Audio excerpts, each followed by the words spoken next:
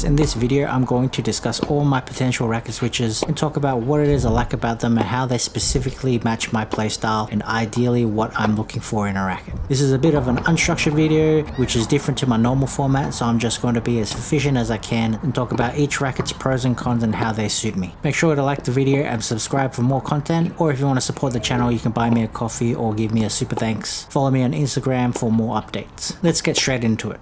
Everyone is looking for a perfect racket, and the chances are that you'll never find it. But here is a list of what I'm seeking from a frame that suits my needs. Realistically, there are going to be some trade-offs, but this is what the perfect racket would look like for me. For me to consider a legitimate switch, I need something that suits my serve style, that's whippy and aerodynamic for maximum racket head speed on the serve. I also need these characteristics to carry over in a similar capacity for both my ground strokes. The forehand I need to be able to have enough maneuverability to whip it and also take a full form cut at the ball. When dealing with the backhand being a one-hander, I don't want something that is too thick or oddly shaped to hold. Ideally, I would want something that's a little bit more squared off at the throat, so not something so much like the Aero VS, but at the end of the day, this could be overlooked if the racket provided what I needed. It needs to have a solid level of control for my aggressive playstyle, which I can go all out, but still make more of my bigger shots than I miss on full swings. It needs to be light, but also stable enough to cover up my really bad defense and returning ability. I need ample spin potential, nothing crazy but the more the better, but not to the point that it takes away from the flat driving ball that is my main weapon. Most importantly, I want a racket that is as powerful as possible without a massive sacrifice to control, so I can put away the ball against really high level competition. And for feel, I prefer a good amount of ball pocketing, something that's soft and comfortable, that's not too crisp and direct off the string bed.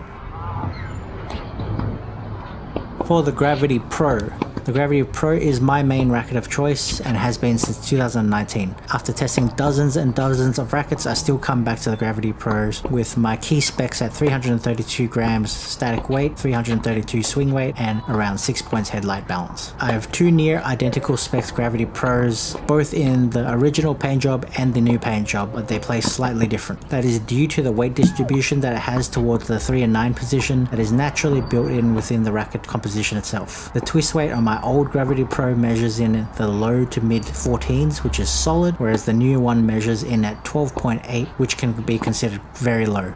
The new one swings a little faster as it is under spec and I can use any combination of normal strings in it whilst maintaining my max preferred swing weight. Thus I can generate a higher launch angle and more spin potential by using a full sharp or shaped string. It swings both my one-handed backhand and forehand very well and naturally suits my swing path completely and my forehand does alter depending on the weight and shape of the racket and I have to experiment to find the right swing with some rackets. But I'm always immediately feeling right at home with my Gravity Pro being my my main racket. I see many comments regarding the Gravity Pro's power being on the low end, which is just not true at all. Next to the Pure Strike Gen 3, it provides me the second biggest ball out of all my potential racket contenders, and if you know how to swing it properly, it is a true monstrous weapon. Thing is, with the 1820 pattern, you still get the super pinpoint accuracy, even with this kind of power level, it still holds up when you take your biggest swipes at the ball. The one that I have under the old paint job, which is my original and first one, does play quite similar, but there is more stability to it, and that's because it does come in a bit of a higher swing weight in its natural stock form, so I compensate that by using a thin gauge poly to reduce the swing weight, and this way it manages to fall back down towards my specs that I listed earlier. My biggest weakness with the Gravity is that although it's a great serving racket, it doesn't suit my service motion very well, which I can generate 80% of my power with just my hand speed alone. And for me, I have to switch up my technique just for it to suit the Gravity, and then it becomes less reliable and effective because it's not my natural motion. It also can be tiring to use for long periods, but with my specs I find it manageable just enough. But if I have to play someone who hits very high pace and takes a lot of time away from me, then my one-hander pays the price for it because I'm not going to be able to set up as fast due to the slight clunkiness, which forces me to revert to my slice a lot more. What I truly like about the Gravity is that my forehand is probably at its peak level when I use it and I can do a full stroke but still have enough speed where I can also whip or slap the ball as well. So I can produce any variety of shot types as well as receive any type. The feel is second to none for me and I have not found something that I quite like just as much as the Gravity due to its combination of pocketing, flex, comfort and plow through at only a 332 gram static weight range. Maybe the new paint job and the Auxetic is enough to keep me from shying away from it next year, but I'm hearing that the Gravity Pro as it is in its current form is being discontinued and it will move forward with what is the MP and the Tour mold, which I think is a subpar model in comparison.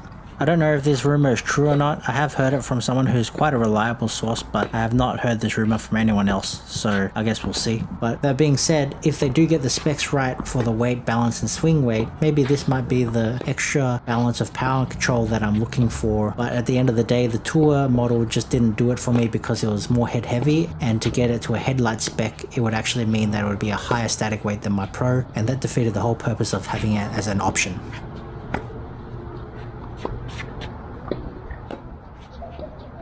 The second option on my list is the Pure Strike Gen 3 16x90. This racket has served me well for many years as a backup to my main racket and I consider this to be the most powerful 98 square inch racket on the market and has helped me contend with some of my toughest opponents in tournament settings. The main thing I like about it is that it provides massive put away power with both full strokes and a flick of the wrist. It provides me the heaviest ball that I can possibly hit with any racket that is suitable for my swing style, where the racket is not too thick to the point where it becomes not as maneuverable because I rely heavily on racket head speed. It also does serve a mean ball with all serve variations and volleys quite well overall. Although it's not the fastest racket out there, there, especially for my one-hander. It does get the job done because it has great spin and power potential to make up for it, where I can use a more efficient swing and still generate a lot of pace. The biggest downsides to this racket is that I've actually sold and rebought this racket on about three different occasions now, and I have not had the luck to be able to find one with the pre-measured swing weight of something of the low to mid 320s, apart from the very first one that I ever used. The reason why I sold it initially was because I was having wrist issues at the time, not specifically because of the racket, but I just had a very very bad wrist, and paired with a stiff string in this racket, it really exacerbated the problem. Now, I only use softer setups and I have absolutely no problems with this racket, but I cannot seem to find a swing weight that I want, and it's really a make or break for me for this racket. The feel is comfortable enough these days, but overly muted and plasticky, which is a big downside, so I would prefer something a bit better in terms of feel, but the playability for my game is just another level. The other problem that I do not like about it is that I cannot gel with the Babolat squared grip shape. I do prefer more of a Wilson or head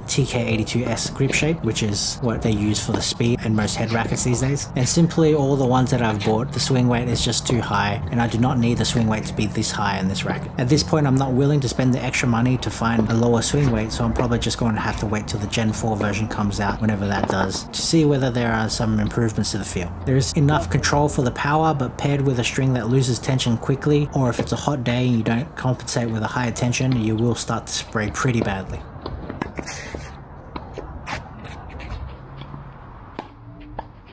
The EZone 98 is definitely also another option that I've considered heavily. It is a great all-round racket with many parts that suit my game. The serve is the biggest no-brainer, EZone's possibly being one of the best line of serving rackets that have ever been made, and being someone who relies heavily on my serve for free points, it is a huge advantage with how excellent the aerodynamics flow through the air. The same goes for the forehand, that I can use a fast whippy swing and generate ample spin potential with this racket, but at the same time it has a great deal of control. Obviously the stability does lack in stock form and personally I need to be careful of how I'll add weight to the racket. Ultimately despite making something more headlight it does not necessarily have positive effects on maneuverability all the time. If I'm adding additional weight to a racket even just tail weight the bottom line is that I'm still adding weight and there are times where it can be detrimental to my swing and for the E-zone this is one of the examples because the mid portion of the racket is quite thick. So generally I prefer it in stock form or at most I will do 2 grams each side at 10 and 2 so it also increases the stability of the racket without slowing me down too much and I won't actually counterbalance at all.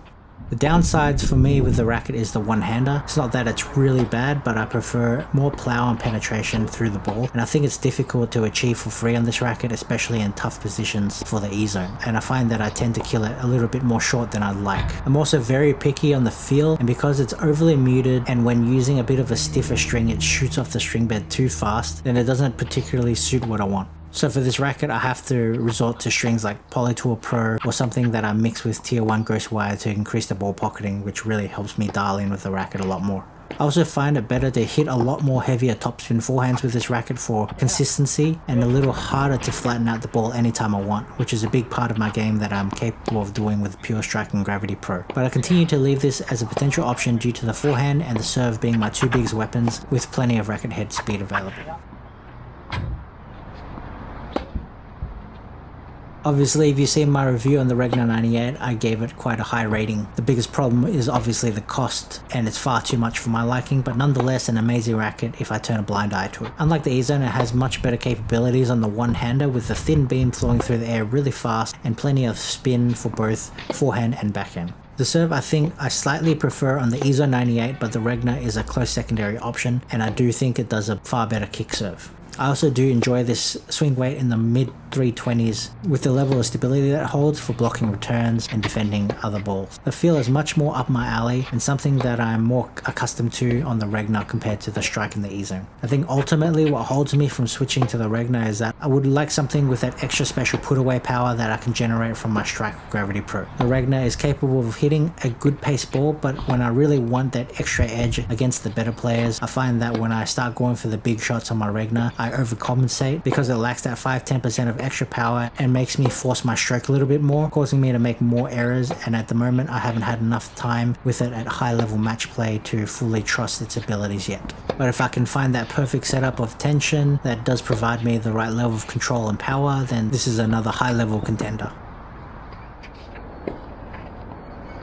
Finally, the Pure Strike VS. It might surprise you as a potential switch for me because I didn't rave about it that much. But this is a racket that I can play above my normal weight range, which means I can customize it for a higher level of stability without losing much maneuverability. It does not affect the racket head speed barely at all, as it maintains most of it because it has a thin frame and I can generate maximum speed with my forehand, but also it works just as well on my backhand. Being a 1620 pattern, there's enough spin potential there to be accessed, and even more if I use the very shaped string. There's plenty of comfort for my liking and because of the maximum racket head speed I can generate enough power closer towards my Gravity Pro and slightly less than my Strike Gen 3. But because it's super whippy I am able to serve easier with it for how I want to and last longer periods of time without tiring out. I also find it works really nice on volleys and makes me want to volley more than I usually would. The biggest downside for the racket is that I find the control could be lacking a bit for the way I like to play and I need something that is a little bit more pinpoint accurate. The feel, although I like the comfort, is a bit on the fence for me. I do enjoy the pocketing, but it definitely pockets the ball for a really long time. And for me, it can become a little bit of detriment to the accuracy for my personal preference. But I think a stiffer string or something like that would be able to help out to slightly decrease the amount of pockets, but it is still quite muted heavily. However, it's something that I can get over. The feel and control also plays a big part in the amount of control for the serve. I can generally serve quite well with it, but there's something about it that does not make me feel like on a bad day that I can still find my targets. Whereas rackets like the E-Zone and the Regna are almost like mindless serving rackets. That concludes my list of contenders. I've actually left one off this list because I'm going to create its own video for it, the next one coming up, and it is actually my pick for the Racket of the Year, and is one that is closest to my number one contender. So if you're interested in that video, stay tuned as I'll try to get that one out as soon as I can. Let me know in the comments what you think my number one contender and Racket of the Year is. Thanks for watching, and I'll see you guys next time.